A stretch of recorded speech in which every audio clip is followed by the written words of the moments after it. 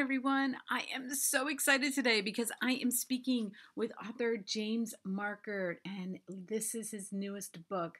One thing about James is you know you're going to get a good cover. Okay, I've been waiting to read this book. I couldn't wait.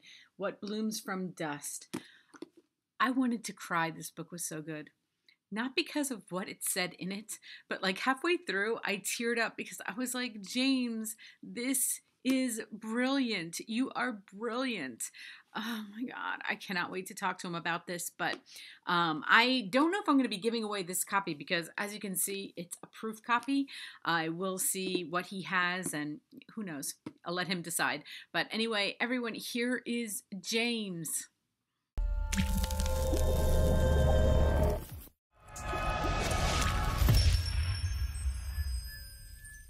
Hi, everyone. I am so excited today because I am speaking with author James Markert, and this is the second time we're talking. And we're today we're going to be talking about his newest book called "What Blooms from Dust," coming out today. And I will have the link to it uh, to Amazon so you can order it. And James, I am so happy that I read this book. I, I can't even tell you what an amazing book. Well, thank you. I appreciate you reading it. And this is, I think, the second time we've talked in just a few months because my other one yes. came out in January. yes. And you know, most of the time I've already, you know, I do my stories on Instagram and I've already said this, so, you know, whatever. Everybody's seeing this today, but you know, a lot of times I cry from the story when I'm reading a book. And this like when I was reading this book, I wanted to cry because the writing was so brilliant.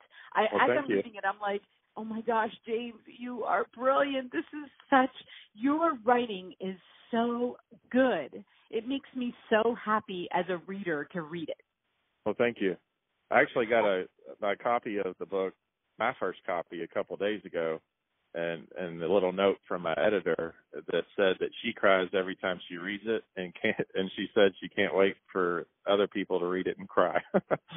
oh good. Well, I'm glad I'm not the only one because a lot of times I can go on like comments and see if I am the only person that has that rea- has a reaction, but right. because this book's just coming out I can't do that yet. But yeah, I mean I and I was like, I promised myself before I talk to an author like you, I make a promise to myself to not say a thousand times how much I love the book.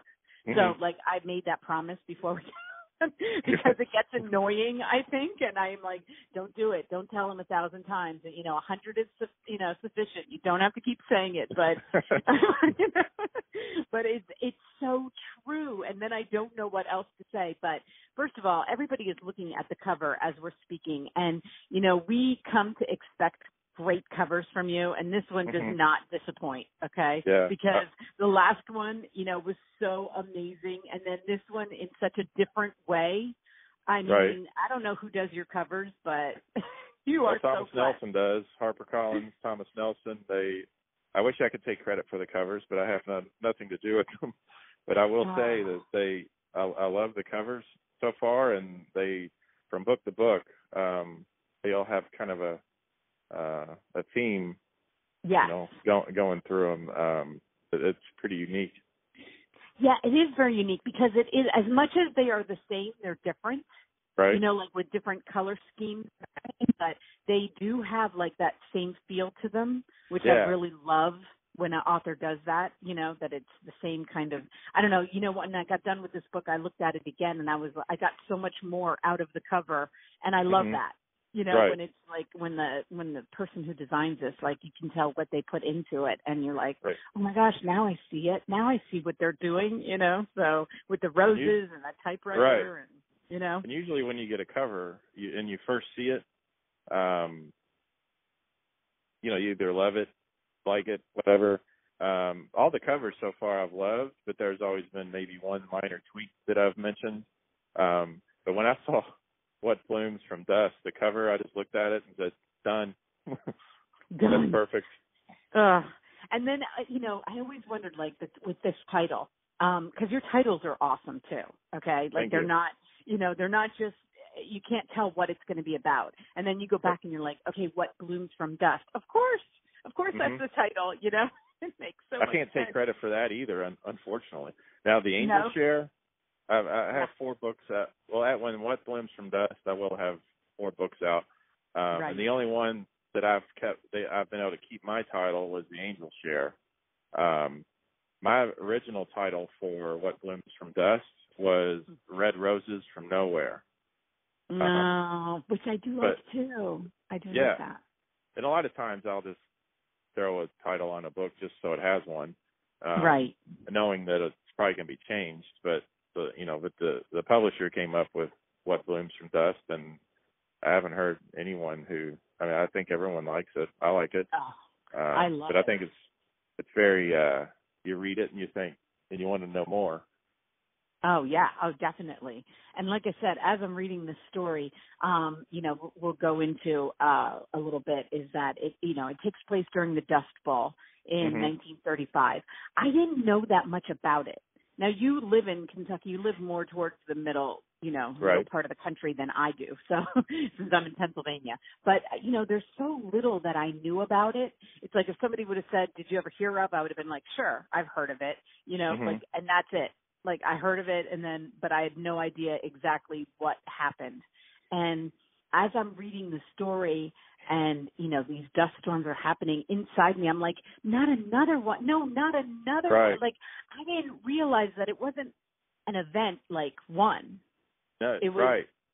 so many. And that that was a little bit of a difficulty in writing it that I didn't want the whole book to be, you know, storm after storm um, but that's you know the I think I read at one point there was a storm like forty something days in a row at a certain part. Um, right. So I wanted to portray that. Um, I guess the biggest storm in my book was the Black Sunday storm. Mm-hmm. Um, mm-hmm. But I don't know. I, I did uh, a little bit of research during the Angel Share because I mentioned the Dust Bowl.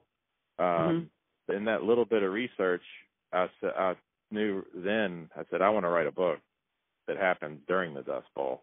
Um, so that's when that this story kind of started formulating a little bit, and you know just being influenced a little bit by uh, Steinbeck and the Grapes of Wrath, reading that mm-hmm. when I was in Mm-hmm. high, high school of a story of a family moving away from the Dust Bowl. I wanted to do something about a family who stayed.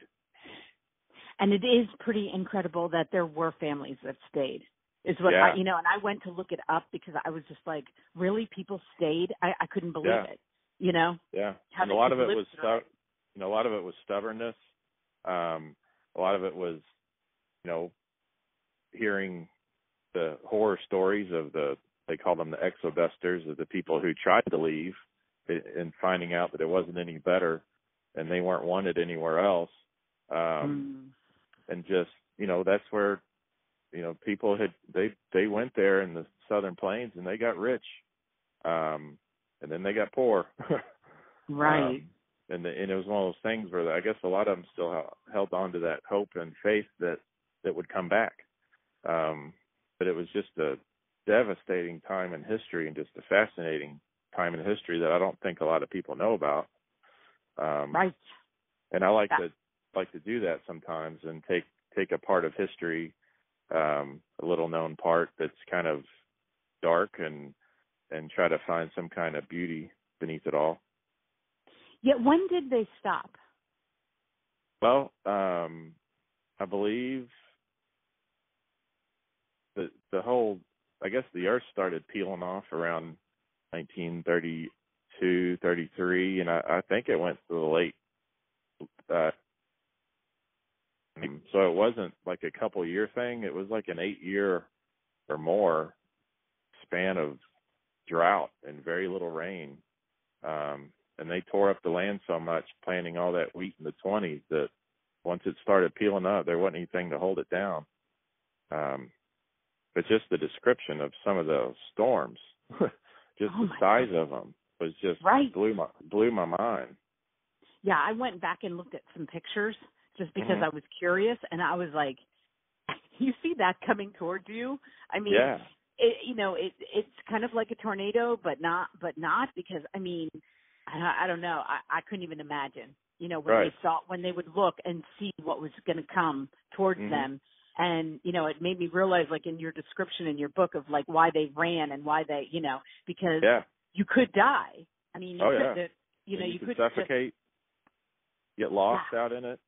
I mean, nowadays we might sit at a little league baseball game and the uh, the wind stirs up some of the dust in the infield, and we're thinking this is terrible. but these these uh dusters that went through in the dust bowl, where you they were sometimes so black you couldn't see your hand in front of your face. Um, I mean, just horrifying. And I was trying to think of the suffocating thing because I was like, okay, wind. I guess it's because what happens is all that dirt, right? Mm-hmm. I mean, you inhale all the dirt. I guess. Right. If you're Yeah. stuck in it. Okay. Yeah. Oh. Okay. And you know what? It's back in the, you know, like we try to imagine that today. Okay. But my um my daughter had lived in Dallas for a while and when they would have a tornado warning, like sirens go off and you know, Right. everybody takes cover. They got notifications on their phone that tell them, you know, like you know, we're talking the nineteen thirties. There is no warning. There is Right. no, you know, like today might be the day or, you know, things aren't looking good today. So everybody Right. be careful. It's like no, they just they did they had no notice whatsoever. hmm And that's why I wrote that scene, um, that the Black Sunday storm where they were all out and the weather was beautiful and they were having a rabbit drive and, and all of a sudden here it comes. And it was just a mad dash to get back home before before it hit. Yeah. Well, I'm going to let everybody because I don't want to give away too much, so I'm going to let you tell everybody the story because it is such an amazing. Your stories are always so good, but I'll let you describe to everybody, you know, what you want them to know, basically. Uh, well, but basically the setting is uh, 1935 in the heart of the Dust Bowl. Um, I created a fictional town called uh, Nowhere, Oklahoma.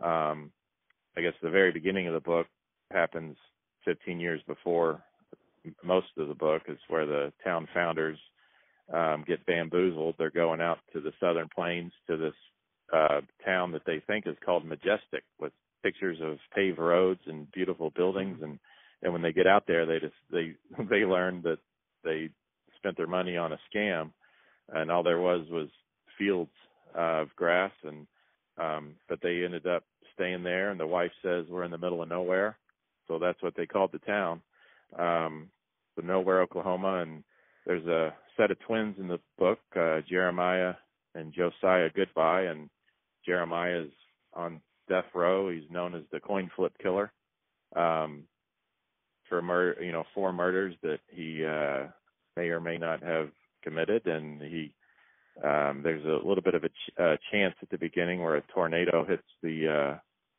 uh, um, prison right when he gets in to the electric chair, and he walks out a free man, a wanted man, and returns to his hometown of nowhere, um, where he's not exactly wanted anymore. Um, but on the way, he picks up a, I guess he buys a kid who's for sale, um, who is a very unique um, boy and uh, with a typewriter, and things start happening in nowhere when the Black Sunday storm hits. The dust may not just only be dust, right. but at the risk of giving away too too much, Right. um, Uh huh. thing, a lot of things happen. Yeah, there we go. A lot. That's why I always let the author do it because I'm afraid that I'm going to give away too much. And I want everybody to read this book the way I got to read the book and let it unfold the way it did. But what I love about your books is always there's that underlying theme of magic. hmm And just like with the coin toss, like, how did you come up with that? That's what I kept thinking throughout the whole book. How did James do that? How did he come Yeah. with this? I don't know. Uh, sometimes I I don't know. At first, I imagine him getting a. Sometimes you just and you vision it's a, a vision, a scene in the book. I imagine him walking out of uh jail, a free man, but still wanted, and standing at a crossroads, um, Mm. whether to go back to nowhere or head in a different direction. And he gets a coin out and just flips it. Um, and then I started thinking maybe that's what he does. That's his thing, and it's always been his thing. Ah. And then, or and then I thought, okay, he's the coin flip killer, and that's where it kind of goes from there. Yeah, I, I it's just you know, and I don't want to give it away, but there is lots of themes of of like I don't know that I want to say magic, but it, it you know like unknown and just Yeah. magical. How about magical? More like, Like, that. magic, magical realism, Yes, and, And I not- love that. and it's not overwhelming. Um, no. Because then no. you would lend more into the fantasy. Yeah. Um, but Yes. it's just stuff that, um, you know, I, I like to do that because there's some things happen in the in the world where that don't really have an explanation, and and you think, where, how's that happening? And um, eh, so I like to have a little bit of magical realism in in my stories, even if it is, is mixed with historical fiction. Um, oh, I, I I love that you do that. First of all, It I've never it allows me to- like it. Well, thank you. It allows me to throw a little because I like I love history. I like writing historical fiction, but it allows me to throw a little bit of Stephen King in there. Right. Right, but not but not that way. But not too much, Right. you know. Just those Right, just a- you know. just a hint. Yeah. Yeah, and that's what I love about it when I'm reading it. And you know, before we talk about your next book, because I do see that there is a next one, um, I I love the way you come up with names. And Mhm. you don't have to tell us too much about it because, like I said, I want people to read. But I can tell the work like that you put. There's some books I read and I'm like, they didn't put that much work into the names. I can tell. Right. You know, it's Right. just kind of like going through a name book or whatever and picking names that look good. But with Mhm. your names, they're so picked out and Yeah. so well thought out. I just love that. So I had to tell you that. Well, I'm big on names, and sometimes I'll, you know, just so I'm not sitting at my computer for ten hours thinking of a name, I'll just give them a name. And when something, you know, sometimes you need to know the character more before you can figure out what his or her name needs Right. to be. Um, in the case of Goodbye, I think I was doing some research, uh, or maybe reading the book. I think it was Timothy Egan, the, the one he wrote about the Dust Bowl, which is fascinating. I think there was a real life person whose n- last name was Goodnight.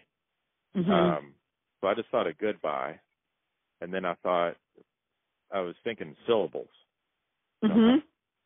uh, and how many syllables would something unique to go with goodbye, and it, it I just came down to uh, Jeremiah, um, and the, you know not and not just the main characters. I like to take my time with with with some of the other ones too, um, like the one De- I think it was Deacon Sipes, Mhm. kind of kind of a kind of a bad guy, I guess, in the book.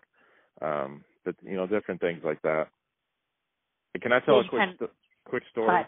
But, mhm. because you're just talking about diff- weird um r- magical realism type things. This is very strange. You, you know the Anthony Bourdain passed away. Yeah. Did you did you read about that? I, I just before we got on, I went on social Okay. media and saw it. Uh, Yeah. Parent parent suicide, but um and I didn't watch his show all the time, but I would watch it occasionally and I was always fascinated by him um and his you know, meeting people in other countries and I always thought he would be a neat person to have a sit down, have a beer with and eat.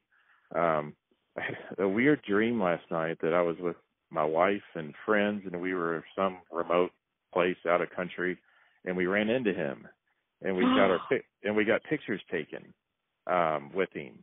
And then I woke up and this morning to hear that he passed away. It was so bizarre Wow. and that's the type of stuff that that's not always explained you know um Yeah. How do you explain that? yeah you know and i've never dreamt of him before and i i had I, I i hadn't seen his show in months um very just weird That is real. That is. Well, this week has been, you know, rough with the Mhm. suicides, and you know, and I Right. just saw it when I, right before I went on Instagram, and I I just saw that, and I was like, wow, okay, you know. right And you know, he, he you just don't know because he seemed like, yeah, I don't know, you just can't tell, and mhm so I it was, but that is that is really weird. So that must have been when you saw that this morning. You must have been like, whoa, i didn't know what to think right, because i thought it was weird that i he was in my dream anyways right. um, You're like, what but- was he doing there? You know? Yeah, but, I mean, well, it made a little sense. We were traveling and trying different food in another country, and he was, you know, but it's just weird. Yeah, that is. And that's what I was, you know, saying about your books though. If they do have that element, it isn't like, you know, we have weird things that happen to us all the time. Mhm. And, you know, you, you think, oh, that's weird. I just read that. Oh, that, you know, how did that happen? How did that, you know, the, we call them coincidences or whatever you want to call them. But, you know, sometimes like with that, that it's like a coincidence. Hmm, Yeah. Okay. You know, like, Yeah. I don't know. I, but I think, but I, well, what I do think is that there's a story in there. So you know, Yeah. write that down somewhere, and you know, because I think I think that's definitely a story to be Right. told. And you know, when I saw that your next book isn't coming out until March, I got very sad because I, you know, I got to read two of your books in a very short amount of time, and Right. and that made me very happy. And now I have to wait uh, longer, and you know, I guess that's just the way it is in the book world. But Not a you know. not a full year though. not a full year, which is good. Not a full year. And the title, Midnight at the Tuscany Hotel. So what, you- what can you tell us about it? Um, well, I have a cover that I, That's good. I can't reveal until after What Blooms from Dust comes out, uh, Okay. so I don't start confusing people. People, Um, but that takes place right after World War II um, in a made-up town in Southern California called Gandy. Um, there's a the father in the story um, was a sculptor who, you know, was known around the world for his sculptures and almost considered himself a god. Um, but he met his wife um, Magdalena in in uh, Florence, and there's uh, they there's something to where they have to escape Florence. This is in the late 1800s, and but he decides to build a hotel in Southern California and calls it the Tuscany Hotel. So Oh. since he had to, he and his wife had to escape Tuscany, um, so he decides to kind of bring it to her, and and this hotel is very unique. It's it's um, shaped in a perfect square with a beautiful mosaic fountain in the middle of it. Um, but every room is decorated by replicas of famous paintings, and artists travel from across the country and the world to um, put their touch on the rooms, whether it's a fresco or a statue, and they uh, um, different you know, musicians and actors, they all come to the Tuscany Hotel in the early 1900s and the Roaring 20s to perform their crafts because it's it's like uh, a muse. Um, the hotel is, um, but for reasons I can't explain yet or can't give away, the hotel um, goes out of business and no one's there anymore. Um, but the son, who was in World War II, um, comes home a little uh, battered from the war um, to a one-year-old son or two-year-old son who doesn't know who he is um, and says, "You know, you're not my father," because he doesn't remember who he is. And then he comes home to his dad, who has Alzheimer's now, and doesn't know who he is. Um, but it ends up something happens, and the sculpting father ends up back at the hotel because the fountain in the middle has suddenly started running again in the water. And he drinks from the water and it it has a curing effect for his alzheimer's his memory comes back.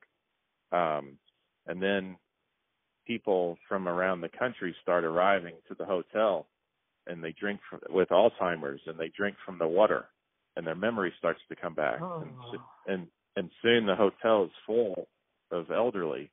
Um, but of course, there's always a twist. There's, um, the, you know, not everything is what it seems in drinking the water. There, there's a downside to it too. Um, but I, uh, so that's basically it. It's kind of a, a memory memory hotel, and it gets into the ancient gods and the Greek gods and uh, Renaissance art.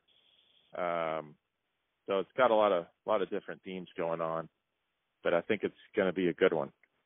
I, I can't wait. I can't believe I have to wait long, but you you will get me a copy, like as Yeah, ASAP, how, right? as soon as I get as soon as I get a copy, I'll send it.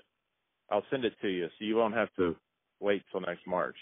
Oh, good. I'm so happy about that. But everyone is looking at at the you know at the cover of the book, and I just want everyone to know that today I will be giving the copy that I have away on Instagram on my Instagram account. So you can go Mhm. there and you can get that, and you can go on here watch the video. The book does release today, and the, all the links are below uh, to everything, your website and every social media you are. They'll be able to find you and Okay. I am so so happy that I know you, James. Okay. Well, thank, So thank you. I'm happy that someone's reading my books. So. well, we'll get this out there. There will be a Okay. lot of people reading this book because it is amazing, and um, I can't wait to read the next. So, thank you so much for talking with me, and we will talk again. well, of course. Okay. I'm, lo- I'm looking. I'm looking forward to it. That was the 1st Mhm. time I'd I'd explained Midnight in the Tuscany Hotel to anyone. So hopefully I Yay. Hopefully, I didn't go on too long. No, I I love hearing about it. So I, I can't wait already. So um, have a great day, and we will talk to you soon, James. okay. Well, thank you. Thank you. Bye bye. All right. Bye.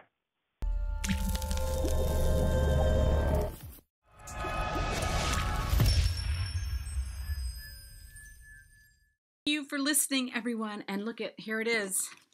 Here's the book I'm giving away. And in case I didn't say it enough, you need to read this book. Okay?